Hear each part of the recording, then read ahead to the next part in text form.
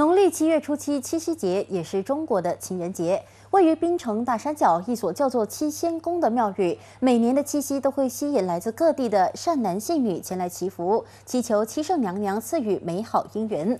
这座被誉为威省最小的庙宇，虽然没有富丽堂皇的装潢，但却有两百年的历史，多年来都是善信进香、密求好姻缘的圣地。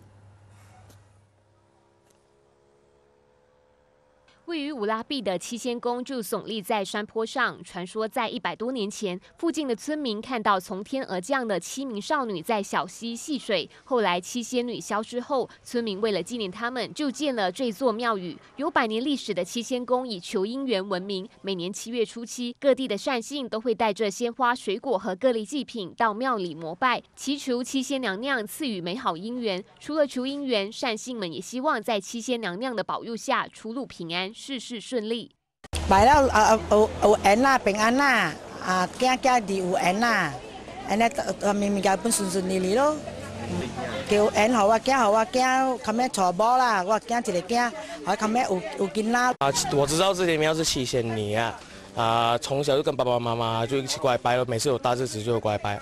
我是听他们讲的求姻缘啊，跟啊庙当然应该是保平安哦。呃，我觉得姻缘东西是可遇不可求啊。呃，虽然拜拜是有一些帮助，可是有时也是要看顺其自然哦。远古至今，牛郎和织女会在七月初七相会的传说就成为民间佳话。在古代，女子都以织女为榜样，因此每逢七夕，为了获得美满姻缘，他们都会向七仙娘娘祈福。而七仙宫每年农历七月初七都会庆祝七仙娘娘神诞，大批善信一大早就会携带贡品，希望七仙娘娘显灵，保佑他们平安顺利。庙宇每逢七夕香火鼎盛的热闹情景，也成为当地难得一见的风景。NTV 七冰城。采访我到。